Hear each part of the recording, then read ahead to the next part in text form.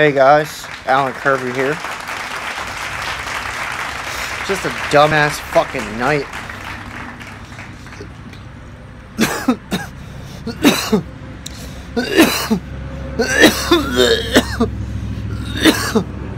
Sorry. Sorry guys. I cut my finger. I skinned the fucking knuckle. There's like a big chunk of knuckle meat hanging out. It's pretty gross.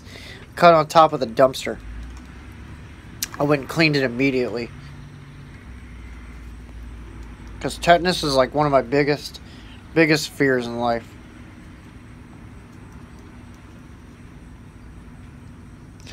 Tetanus and spiders. I don't like them. It used to be when I was a kid, I was like terrified of uh, aliens when I watched that uh, that Fire in the Sky movie. Oh man, that movie creeped me the fuck out.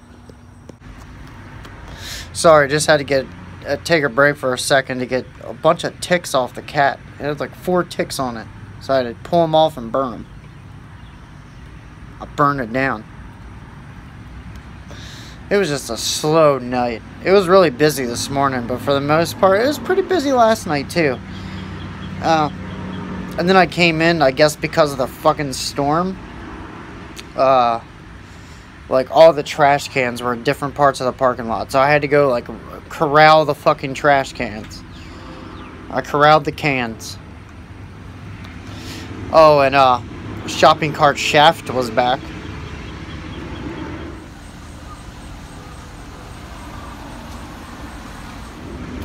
You guys know shopping cart shaft. My assistant manager uh, called the police on him and got him banned. For this for being weird. Actually, me and my assistant manager have been getting along really well lately. It's kind of scary. Like, I've actually enjoyed it. I'm not gonna lie. Because usually we're like, you know, kind of argumentative with, argumentative with each other. I think I'm saying that right, yeah. Argumentative with each other, but I stuttered the first time. But yeah, but lately it's just we've been getting along. I had to kick crackheads out of the dining room left and freaking right. Uh, last night, like they just something about the rain, it just brings them in. They all want cold water and cigarettes. And I seen a customer give one guy two dollars. I'm like, don't fucking give them money. They're out here all the time begging for fucking money. Get a goddamn job so you can be miserable like me. Cause I'm fucking miserable. I'm just glad the cat's still home because I I worried all night about that cat. I always worry all night about that cat. Just like I hope she's okay. I hope she's not dead somewhere. I really want to bring her in, but we we got to take her to the vet. And finding time for us to do that with her working days and me working nights and sleeping during the day, it's like hard to get anything done. It's a crazy, weird life. But we make it work, but it's just hard to like plan things and get things done. Like, God forbid we want to go on a freaking vacation. Because we would never be able to go on vacation just because us planning anything, movie night, anything is just impossible. It's already humid out, so the heat wave continues. I think Saturday it's supposed to be like 110 degrees. That is freaking ridiculous.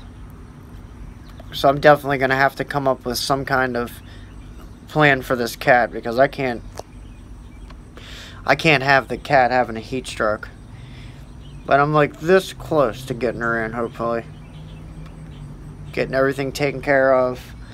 So I don't have to worry anymore. Like a worried parent. But, uh, yeah, it was just a busy night and busy morning, as always. Got some BK in my belly. I ate late this morning. I only had a four pack of Cini Minis because I fucking, oh, I love Cini Minis. They're so damn good. They undercooked them this time, so they kind of taste like dough-like, which The texture I didn't really like, but the taste was like really good that way. I don't know, I'm just getting home, so I'm just relaxing right now. Just smoke some medicine, so right now I'm just chilling. But I'm about to get off here, so stay out of this heat today because it's going to be a freaking killer. Uh, hopefully you guys have a good freaking Thursday.